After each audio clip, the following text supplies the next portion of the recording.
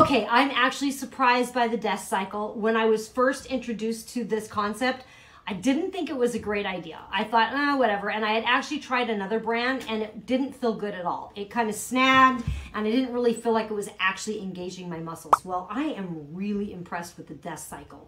This DeskCycle, it's a solid machine and it actually engages your muscles while you're using them.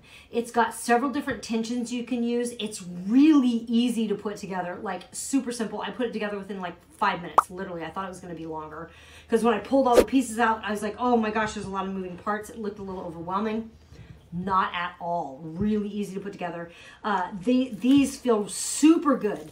Um, the, the ride is real smooth. It's like continuous.